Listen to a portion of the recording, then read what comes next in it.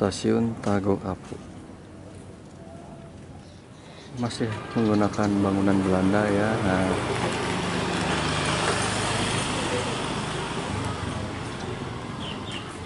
Masuk bangunan cagar budaya. Ini stasiun Tagok Apu kalau di map ya. Nggak ada eh. udah kayak nggak bukan kapo sih ada mah ada cuman simbol ikonnya gitu beda sama yang lain gitu. Tagok Apu sama Raja Mandala beda.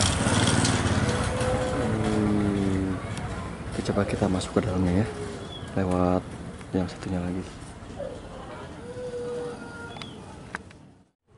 Nih stasiun Tagok Apu ya bersih nih. Ada yang ngerawat soalnya di sini ya stasiun Tagok Apu masih sama kondisinya mah seperti tahun kemarin nggak ada perubahan ya nggak ada perubahan. Rumah dinas masih sama. Persinyalan lampu. Sama juga. Kita jalan aja lah.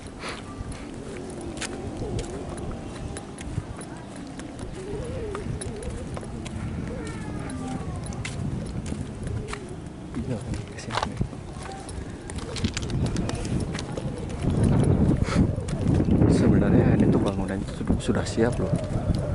Itu ada ruangan kepala stasiun ya.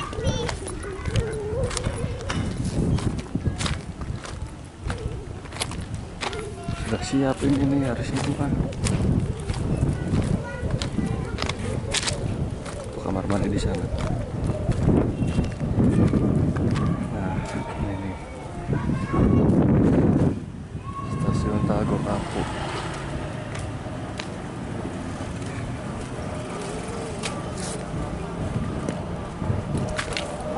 Nah, ini pintu keluar stasiun Tagok Apu ya. Nah ini toilet. Bersih loh ini. Tuh kerawat. Kerawat. Bersih banget. Sama kayak cepatat ini. Udah siap dioperasikan kalau misalnya udah resmi mah musola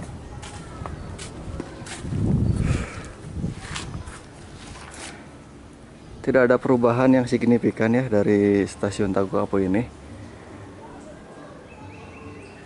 Ada ada ada nih. CCTV ya. Kalau kemarin mah sepertinya saya nggak lihat ya pemasa apa ada CCTV tapi sekarang dipasang demi keamanan.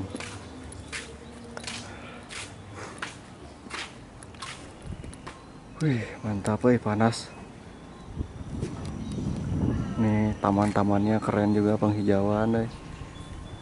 Tuh sampai ke sananya jadi nggak ada yang ini ya perubahannya nggak tidak terlalu banyak gitu. Untuk stasiun Tagok Apu jadi ini rencananya kan tahun depan ya.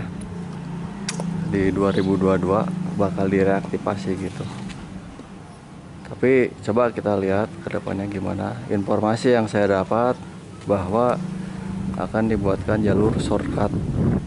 Jadi dari Cipatat ke Sasak Saat. Begitu informasi yang saya dapatkan dari rekan-rekan ya. Itu juga masih ini ya belum tentu juga ya. Belum ada info dari pihak kereta api atau Dijen KA kalau misalnya benar dibikin shortcut gitu ya stasiun ini terlewatkan entah bakal ada kereta ke sini atau enggak. Tapi saya berharap ya mudah-mudahan ada kereta yang lewat ke stasiun Tagok Apu begitu. Entah itu lokal atau kereta Siliwangi ya. Tagok Apu berada di ketinggian 595 di atas permukaan laut. Jadi ada beberapa berita simpang siur ya berita burung lah. Katanya nanti kalau udah resmi udah jadi jalurnya Siliwangi bakal berangkat ke Bandungnya atau ke Padalarangnya lewat jalur shortcut. Nah nanti untuk balik ke arah Cianjur ya katanya lewat Tago Kapu ini. Coba kita lihat aja ya saya dapat ini itu selingan berita itu dari warga sekitar ya. Tago Kapu juga pingin lah warganya naik kereta ya. Nostalgia. Nah ini ruangan stasiunnya nah ini nah ya, kelihatan ya. Nah di ujung sana yang ini ruangan PPKA mantap ya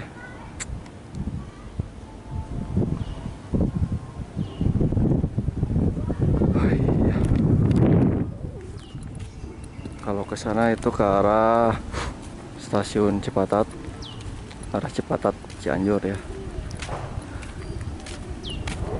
Oke mantap nian oke bro. Jadi nggak ada banyak perubahan ya untuk stasiun Tanggo Kapu ya.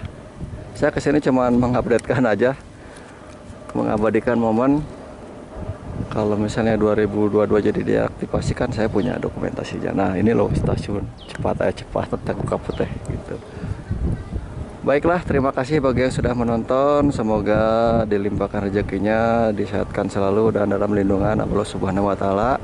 See you next time. Wassalamualaikum warahmatullahi wabarakatuh.